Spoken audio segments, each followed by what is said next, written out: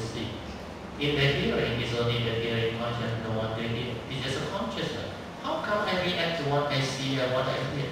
Understand? It's just a consciousness. Before the thought come in and say, this person abused me, scold me, do all this to me. Understand?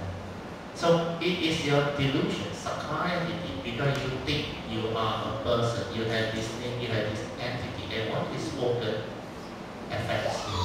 So because of this sakkaya ditthi, wrong view with regards to this human form and mind, you think you are real, you exist, you react. So that's how you become you associate with what you hear and what you see and what you think.